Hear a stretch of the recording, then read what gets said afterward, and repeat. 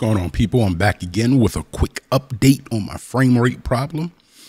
So, if you've been having a problem with your frames in Warzone or any game and you can't figure out why, I'm going to show you what might be your issue. Shout out to my boy, Sergeant Whiskey Paul from Levolution. He helped me solve this problem.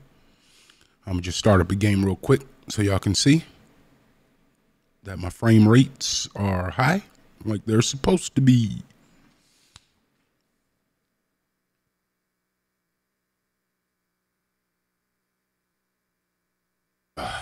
Takes forever to find a match these days on Warzone.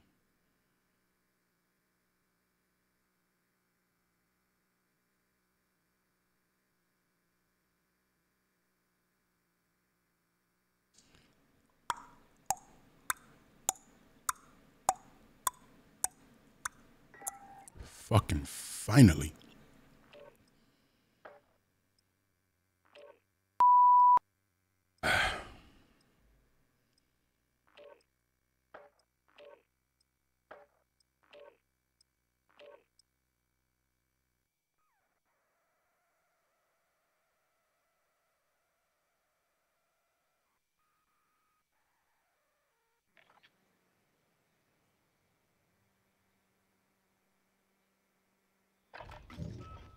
Check your gear and weapons. We go. Boom. Oh, and as you can see, we're 190, 180.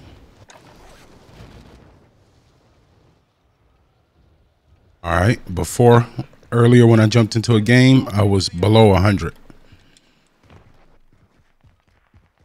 And they'll get higher once I get in an actual game.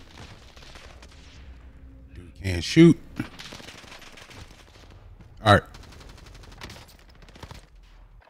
So yeah, just wanted to show that. All right, so now we're gonna go to the desktop. And let's show you what might be your issue. So as you can see here, uh, where's it at? Okay. So you can uh, see my setup here.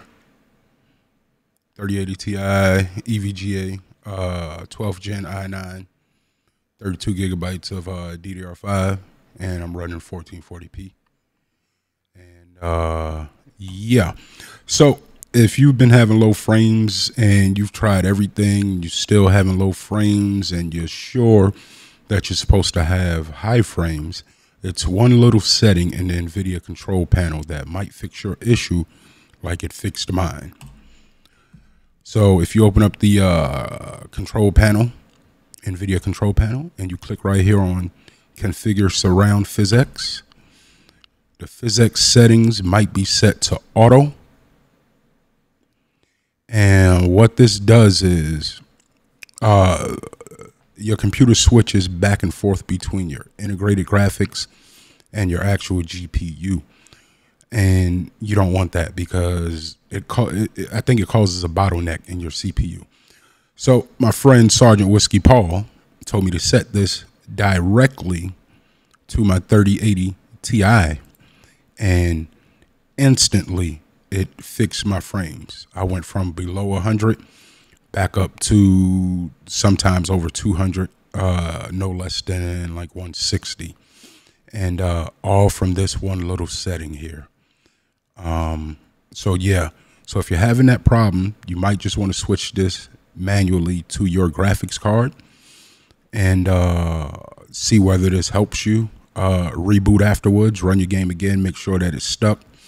And uh, yeah, you should be all good. That's what I did. I changed this, I rebooted, ran the game, worked just fine. I'm back in the game.